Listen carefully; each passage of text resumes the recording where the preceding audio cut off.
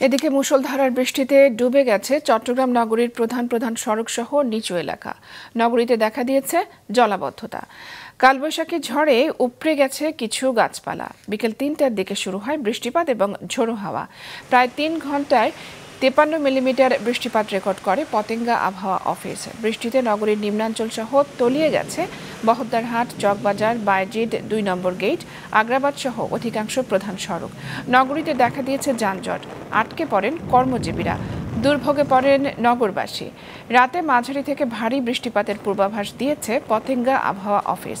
হতে পারে কালবৈশাখী ঝড়। খুলছি থেকে আমরা হেঁটে হেঁটে আসছি ওখান থেকে এতটুকু এতটুকু পানি। গাড়ি টাড়ি নেই সব জায়গায় জ্যাম। পানি জমে গেছে তো গাড়ি ওই জন্য চলাফেরা করতে কষ্ট হচ্ছে। আমি মনে হয় আধা ঘণ্টার সাথে বেশি হচ্ছে এখানে বসে বসা আছি যে। টেকনিক্যালের পর থেকে মানে গাড়ি মানে আমার বুক পর্যন্ত পানি উঠে গেছে। পরে অনেকক্ষণ দাঁড়িয়ে দাঁড়িয়ে এই টান দিয়ে এই পাশে নিয়ে আসলাম। গাড়ি স্টার্ট তো বন্ধ হয়ে গেছে অনেক আগেই। পানি তো রাস্তার উপর পানি আগর পানি সব রাস্তা ডুবে গেছে বাজি থেকে ধরে শুরু করি এখান পর্যন্ত।